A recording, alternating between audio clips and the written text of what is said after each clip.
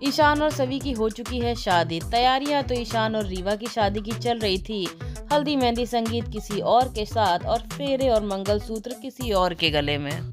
दर्शकों का एक वर्ग ईशान और सभी की शादी से जहाँ बहुत खुश है, वहाँ कोई एक वर्ग जो है, वो रीवा के लिए काफ़ी ज़्यादा दुखी भी है, क्योंकि रीवा के संग इतना बुरा होता देख तो हम लोगों को भी अच्छा नहीं लग रहा है। लेकिन जैसा कि मैं हमेशा कहते आई हूँ कि इन सीरियल्स में एक ही उपाय होता है हर प्रॉब्लम का, और वो है शादी। रिया बेचारी उसी शादी का वेट कर रही है, लेकिन ईशान जब घर आएगा तो वो कोशिश करेगा कि रीवा को अपनी और सभी की शादी के बारे में बता दे, लेकिन वो उसे कुछ भी बता नहीं पाएगा, और उसको कुछ भी बताने से पहले ईशान अपनी अक्का साहेब और अपने काका साहेब यानी कि यशवंत के सामने पहुँच जाएगा। और उन्हें अपनी और सभी की शादी के बारे में बता देगा। इसके बाद अक्का साहेब और यशवंत ईशान को कुछ भी बताने के लिए मना करेंगे।